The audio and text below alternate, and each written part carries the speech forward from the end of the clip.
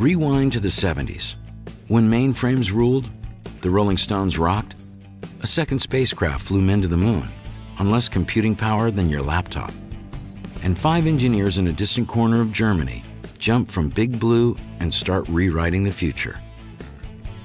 Wellenreuther, Hector, Hopp, Tschira, Plattner. Five unconventional men, friends, fellow IBMers. We wanted to do something inside IBM, and they said, oh, we have other people uh, who will do this, and we met them, and we said, okay, not with them. We cannot work with them, and we cannot work for them. So let us do it ourselves, so bye-bye. Es gab noch keine Standardsoftware für das betriebliche Geschehen. Unsere Idee war, das muss man in Realtime machen, weil es das noch nicht gegeben hat. We did something funny there, a real-time system when everybody had COBOL punch cards and tapes. You have to remember the first uh, green and white screens were 20,000 Deutschmarks, probably in those days $5,000. Unbelievable expensive devices we, we developed our software for. They launched SAP on a shoestring and never looked back. Der erste entscheidende Meilenstein war der gewesen, dass wir innerhalb von neun Monaten bei unserem Pilotkunden, bei unserem Entwicklungskunden der ICI ein System entwickelt haben und produktiv gebracht haben. Das hat keiner für möglich gehalten. Als ich das Konzept der SAP verstanden habe, was sie wollen, wohin der Weg geht, war mir klar, dass das die Zukunft ist. Und von allen sonstigen Softwareanbietern hat man diese Idee nie gehört.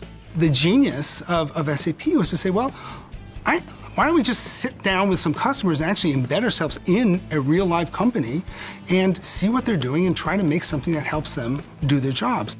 So we had to share the office spaces and also computer powers with our customers. Very often uh, the customers saw us as their guinea pigs. Empathy for the customer is absolutely necessary. This is, it becomes a math problem later. But first of all, you have to have this. Their enterprise computing vision propels them through the 80s and 90s. Swiftly takes SAP from card punchers to paradigm shifters to global market leaders. Wir haben uns nie zurückgelehnt, sondern immer versucht, weitere Innovationen einzubringen, die Systeme zu perfektionieren. We had to fight for our success. There were difficult topics to deal with. You know, it is not what you invent. We invented a few things, but you have to bring the right things together at the right point in time. So I think when we started to develop uh, R3, we hit the wall and it didn't work on the targeted computers, which were the small IBM computers, and even on the largest IBM mainframe. It didn't go well. So we took a 90 degree turn and went straight for Unix. R3 was amazingly revolutionary. It was an open software based, it ran on Unix systems, was pretty much the biggest, most comprehensive piece of client server software anybody had ever made. R3 changed the way business did business and put SAP at the center of mission critical processes. It was followed by another leap SAP NetWeaver, an open platform that fully integrated companies' SAP and non SAP systems in one environment. It really started re-architecting the entire enterprise software industry as a result. Wir hatten Erfolge, wir haben immer neue Kunden gewonnen und äh, es ging stetig aufwärts. Da war äh, gar kein Platz dafür, Pessimist zu sein. 60% growth rate, 65% growth rate per year. This is where I enjoy growth rates. SAP rises globally across 130 countries and gives business a launching pad to grow and work globally.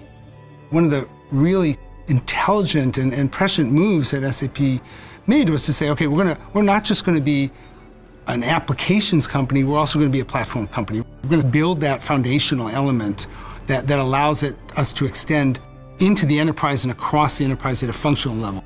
Serving business from the inside out meant constantly listening, learning, evolving, from meshing systems with the internet to defining SOA standards. You have to catch the right wave. You can be in the water all the day, so you miss the wave because you're talking to somebody else too long, you miss it. You have to be on that one. So we wrote that wave. That timing was perfect. The hyperacceleration of commerce, the era of big data, the the surge of social media. All three are converging, creating new challenges, new waves of opportunity. The metabolism of the world is speeding up so much. Between the beginning of time and the year 2003, humanity created five exabytes of information. That's a lot. In the last 12 hours, we created five exabytes of information. The challenge is to, to derive meaning from it and to be able to analyze it. Now business needs to unwire its people, needs millisecond fast answers, super simplified IT, frictionless operations, enterprise cloud power. And so, SAP HANA, a platform to get the right answers to the right people at the right time, on any device, by enabling complex analysis of big data that was never possible before, never practical.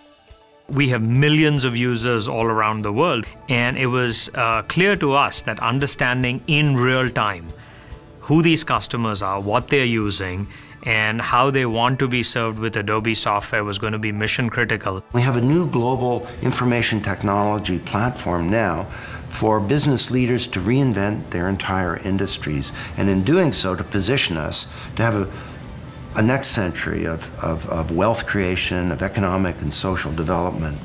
Wenn wir an Rechnerkonzepte denken, Infrastrukturen in den Unternehmen, mobile Applikationen, Netze, Cloud Computing, was da alles auf uns zukommen kann, dann sehe ich die SAP dort in der Startposition in der 1 gegenüber allen anderen Anwendern. With all what we know and the new technologies we have, which is the data management platform, which is the uh, messaging platform, and uh, the mobile infrastructure, we can redefine applications.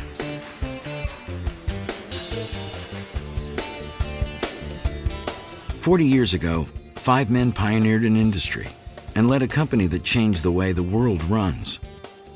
That same breakthrough innovation powers SAP today and will help enterprises become the best run businesses of the next 40 years.